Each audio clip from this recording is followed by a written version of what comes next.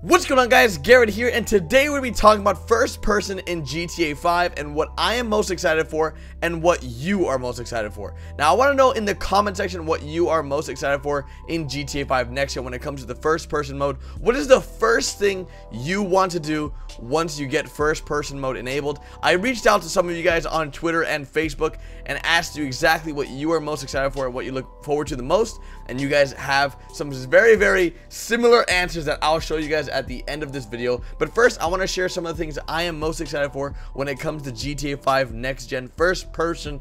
And let's jump right into it. So the first thing I want to talk about is driving. Now, I am very excited about GTA 5 first person driving. I think that is a very, very cool aspect when it comes to jet skiing, driving cars, driving motorcycles, and even piloting planes and helicopters, I think that is going to be a huge game changer for me. It's to be a whole new experience, especially flying things like the Lazer, which enables you to really get like that battlefield-esque feel to I guess GTA Online or GTA 5 when you get to actually play or fly the Lazer in a more cockpit view and only have like very limited viewing ability. So very, very cool my opinion. Hopefully you guys look forward to flying as well. In addition to that, I also look forward to parachuting. I want to see what it's going to look like to parachute.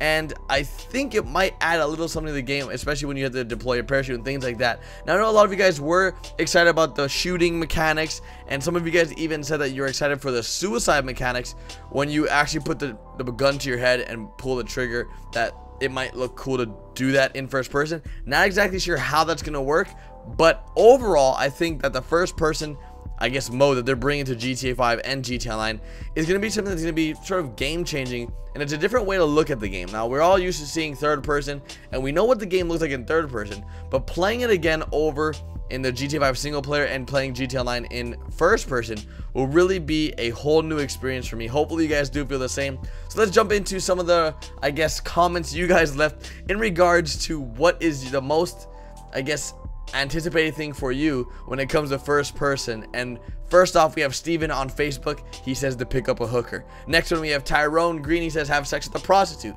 Next one's Diego hookers. Alejandro hit up this club and search for the bitches. So very common trend here, except for Adam. He says fist fight and getting over by cars. I think that's also be cool. Fist fighting might be really, really cool. Next up, we have Juan. He says he wants to jump off Mount Chiliad with the parachute. That is a really, really cool thing to do, and I really want to experience that as well, Juan. Maybe you'll be able to do it with me. Oh, be, do it with me. That sounds weird after just going over strippers. But be able to play with me once we get the next gen, as I will be live streaming doing open lobbies. Next up, we have Sebastian. He says, getting a blowjob in first person. Does that make it better than a blowjob in third person?